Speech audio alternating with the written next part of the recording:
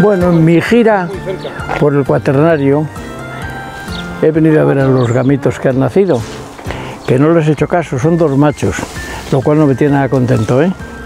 porque los machos acaban dando problemas.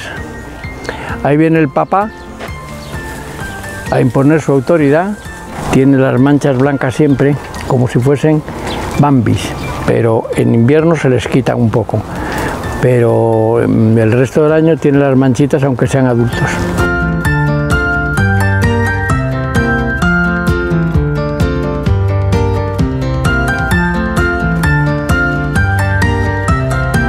Un ciervo hace la berrea, pero el gamo hace la ronca, porque no berrea, hace así.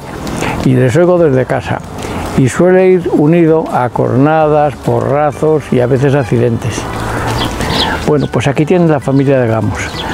Mire qué bonitos los tres machos y mire las cuatro hembras que hay ahí y las dos chiquitines que son dos machos.